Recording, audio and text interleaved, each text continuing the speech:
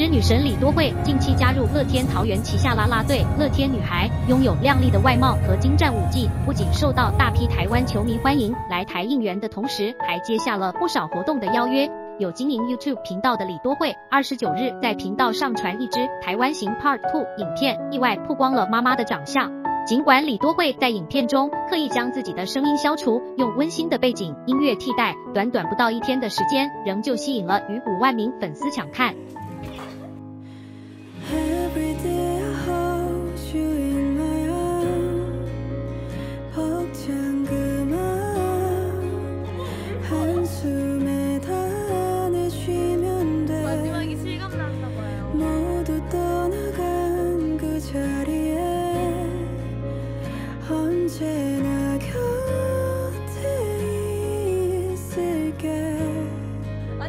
영영 음, 떠나는 사람이에요?